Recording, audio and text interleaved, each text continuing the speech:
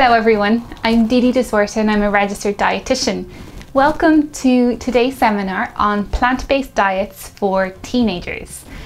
Um, I'm very grateful to have been invited to do this presentation by the Wexford Library Council and by Healthy Ireland. So just to introduce myself, who am I? I'm Didi, as I mentioned already. I have a very long Dutch name, it's Diederke de Zwarte, and I'm an Irish-based registered dietitian. So at the moment I am working part-time on the front line, working in a large Dublin hospital, and I also work the other half of my week for the HSE Communications Department. Then on the side, I run a private practice clinic and a consultancy. So I see people in my online clinic and I also do some menu analysis and projects such as this one.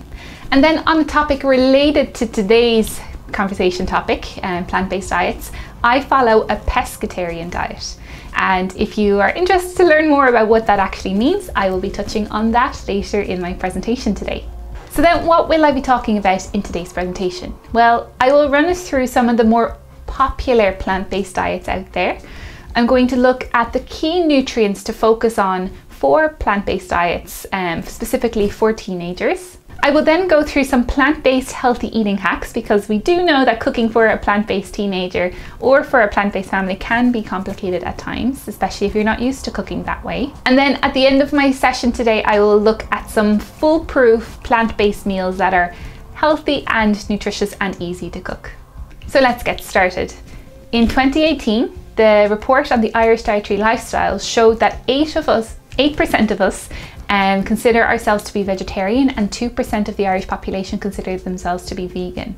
Now, a more recent report by Bord Bia actually found that up to 20% of the Irish population are actually considering themselves interested or eager to eat more plant-based. And I have found through my practice that there's many families that come to me interested in, interested in eating more plant-based. So choosing either one meal a week to be vegetarian or even choosing to bring the whole family into a vegetarian diet.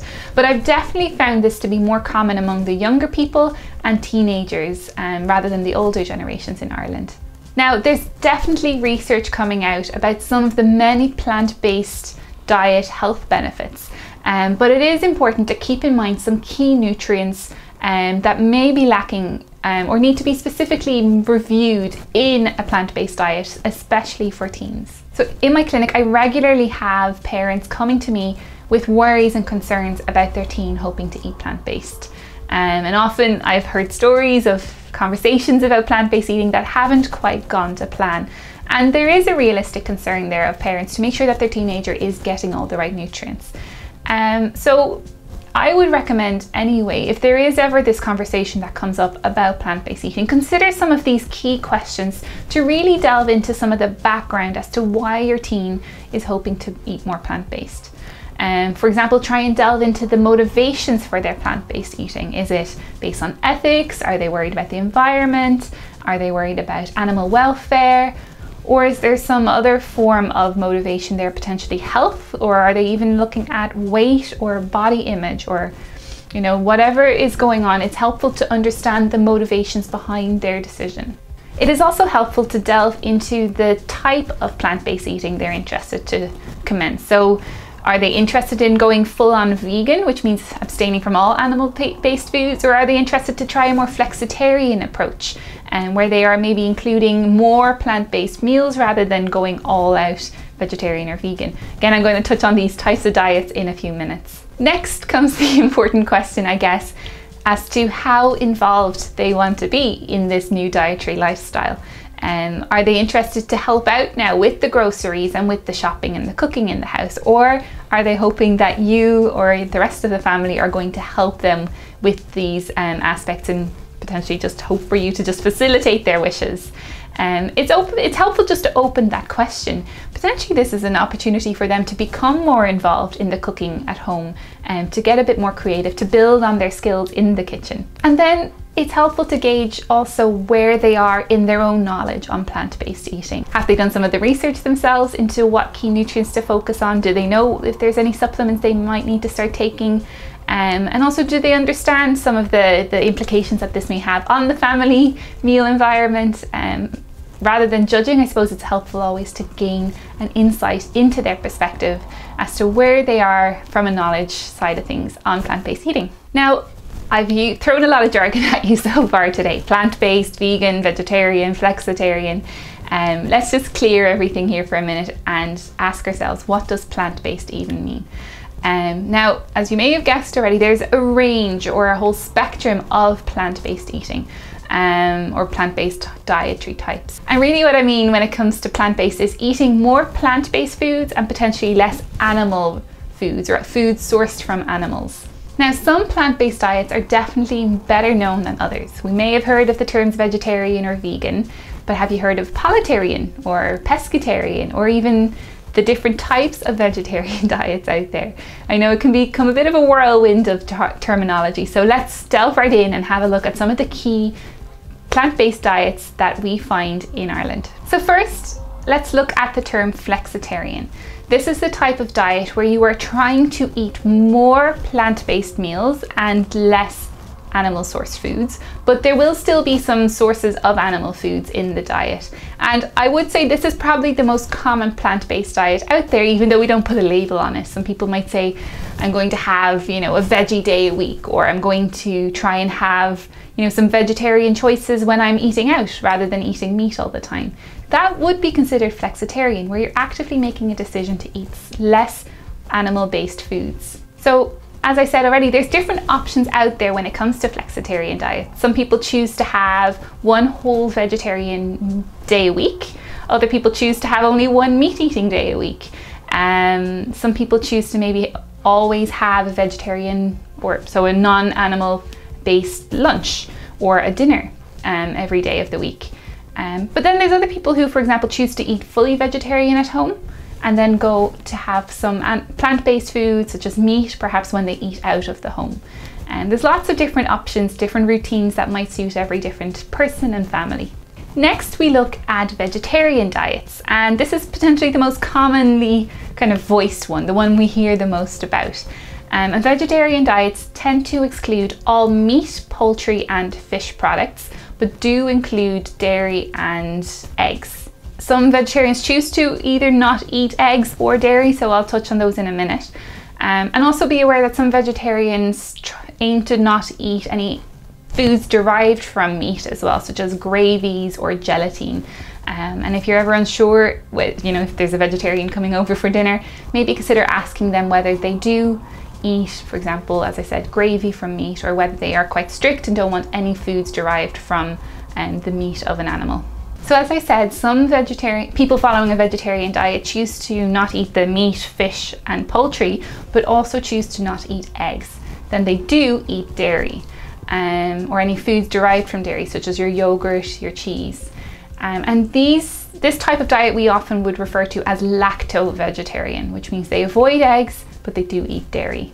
And then we have ovo-vegetarian diets, which similar to lacto-vegetarian, do exclude your meat, poultry and fish, but also exclude dairy, but do have eggs. So we would consider this type of vegetarian diet an ovo-vegetarian diet. And then a lacto-ovo-vegetarian diet is really the diet that most of us refer to as just vegetarian, which is where you avoid your meat, poultry and fish, but you will include eggs and dairy. So the next time someone is coming around for dinner and you are cooking and you know that this person likes to eat a vegetarian diet, it may be worth checking with them. Do they eat dairy and eggs? And how strict do they wish to be when it comes to any animal foods, such as your gravies or gelatines or goose fat? Um, it's always better to ask them to be sorry. That tends to be the the perspective as well of vegetarians. They like to be asked. They're not afraid to talk about their dietary choices. Now, next I hope to talk a bit about palo and pescatarian diets. So these are slightly less well known. Now, a pollotarian diet tends to avoid meat and fish, but is normally happy to eat poultry. And then a pescatarian diet avoids meat and poultry, but is normally including some form of seafood. Um, again, always best to ask, does your pescatarian guest eat seafood, shellfish, um, or fish, it's always just best to ask which types of foods they hope to avoid. And lastly then, the vegan diet. Um, and this is the type of diet where people tend to avoid all animal-based products.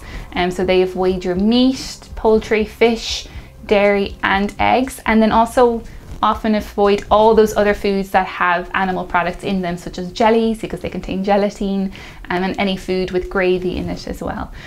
And then some people take this to um, another stage where they then also avoid to wear, for example, any animal based products. Um, they may choose to avoid wearing leather or wearing wool. So, as you can see, there are a lot of different plant based diets out there. And as I said before, it may be helpful then if your teen is considering moving into a more plant based diet, asking them which type of diet they are considering, which most falls in line with their motivations to eat more plant based. Um, a lot of people find that, for example, choosing to eat flexitarian, so trying out some of those vegetarian or vegan meals a week to start with, is an easier transition than going full on vegan. Um, but again, it's helpful to have that conversation to see what really falls most in line um, with your teens' um, dietary choices and ethical choices. Now then looking at some of our key nutrients to consider for our teenagers. Um, and actually a lot of these are very similar for adults as well. Um, but for someone who is hoping to follow a flexitarian diet, that's again the diet where you do include some meat and animal based products some days of the week or some meals of the day. Often this diet is fairly similar when it comes to nutritional balance as any other non plant based diet. Um, it would have similar recommendations for supplements, so this would be your vitamin D recommendation and then 400 micrograms of folic acid for women of childbearing age as well. Um, obviously, if there's any kind of more restrictive eating or if someone's very fussy, it may be helpful to speak to a dietitian to see if there's any more specific nutrients that may need to be supplemented. But normally, as I said, a flexitarian diet is fairly similar when it comes to nutrition to someone who does eat some meat um, most of the time. So next are vegetarian diets. Again, the diets where we normally avoid meat, poultry and fish. We may include eggs and dairy foods. Um, again, very similar to flexitarian, often no need to supplement, no key nutrients that are of particular concern, except for some people they may benefit from a B12 supplement. Um, this is very much down to the individual. It may be helpful, for example, to get B le B12 levels checked by a GP before starting to supplement. Um, again, always consider your vitamin D supplementation and your folic acid supplementation as for the general population. And then lastly, we have our vegan diets. And for these diets, there are a few more nutrients to consider.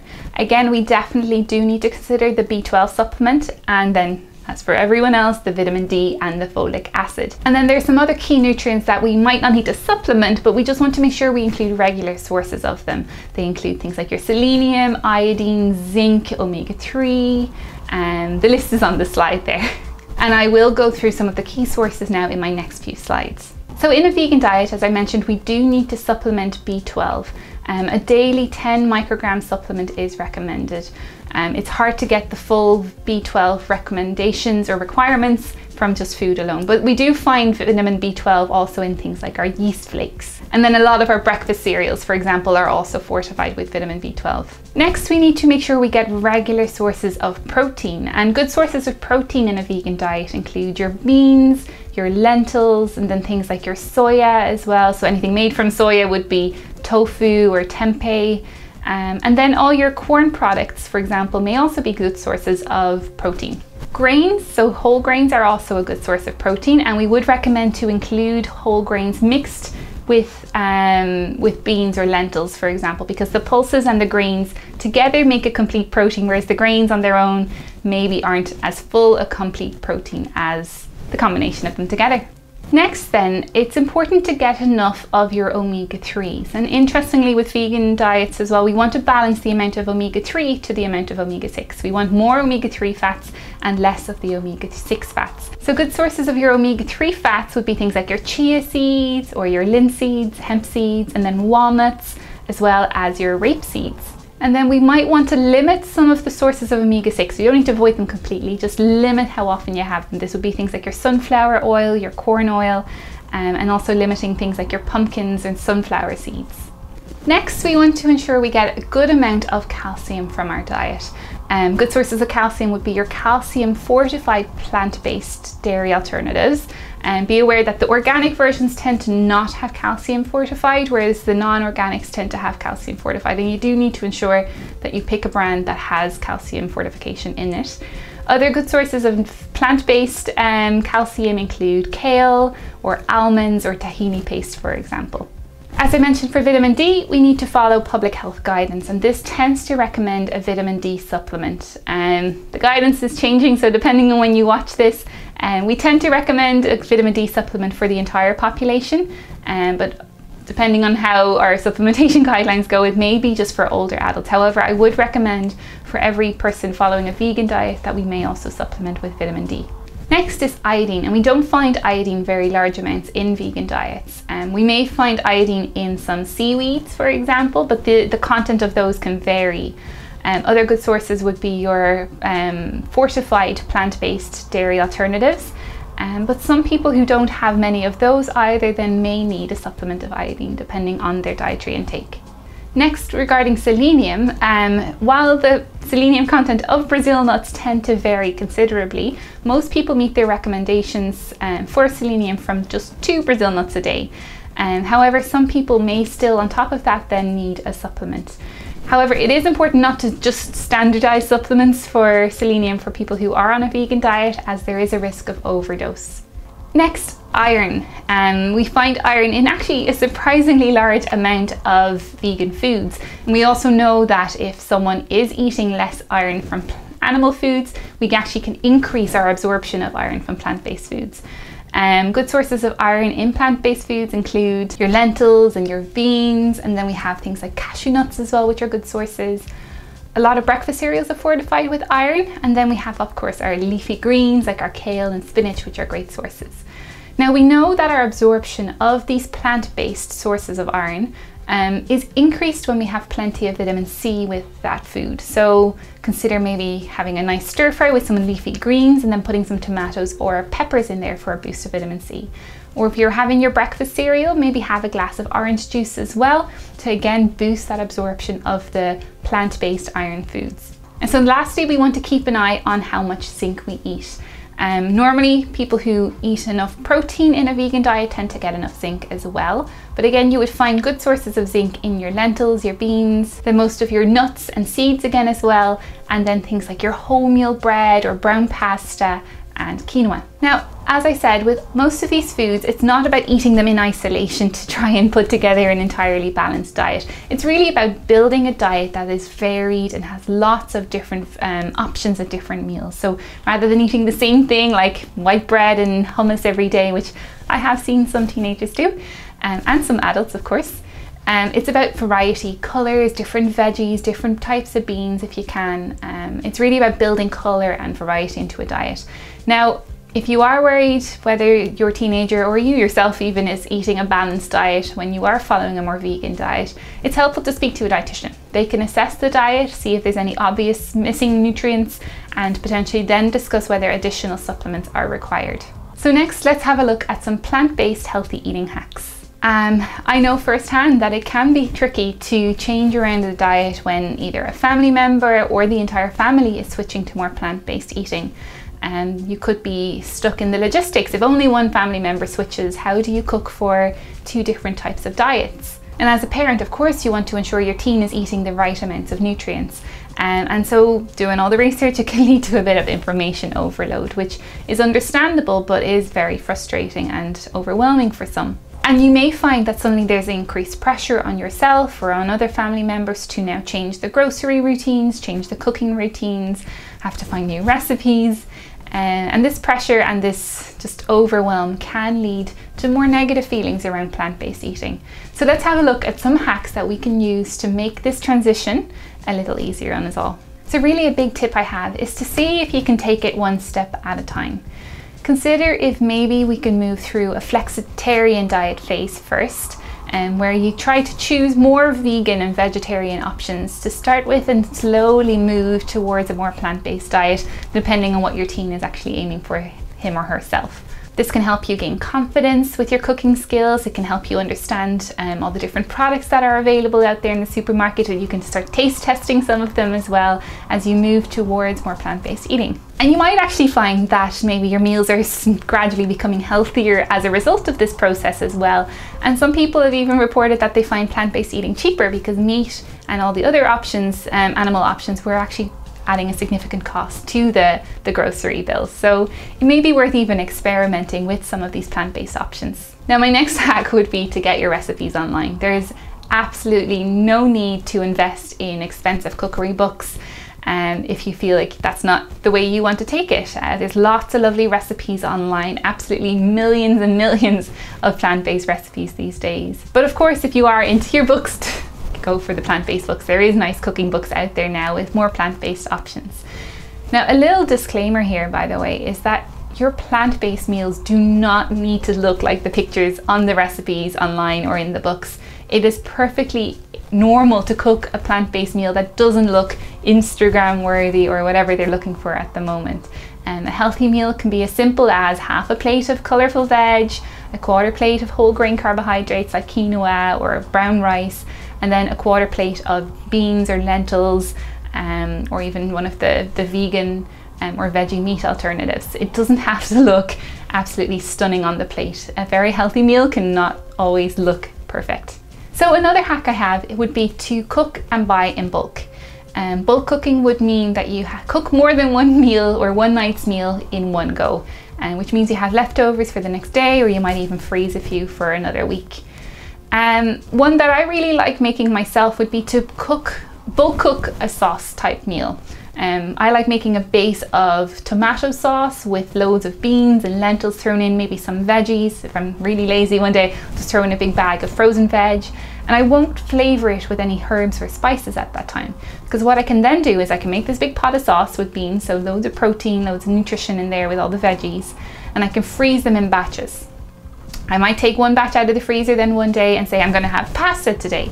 So I defrost it add some basil some oregano, maybe some pepper, might even throw in a few olives, and then serve it with pasta. So that's my pasta dish ready to go.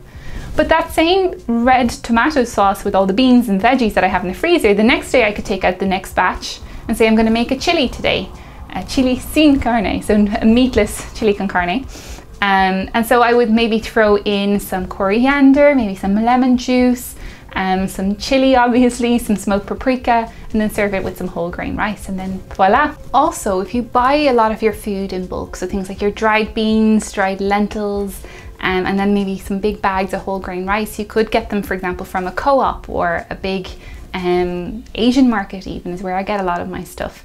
And this tends to be cheaper and they store really well. I think dried beans and dried lentils would get anyone through an apocalypse, so they would definitely store well in the back of your kitchen cupboard. Um, and again, you're maybe saving some money and saving yourself hassle of grocery trips to um, buy some of the more plant-based oriented, orientated foods.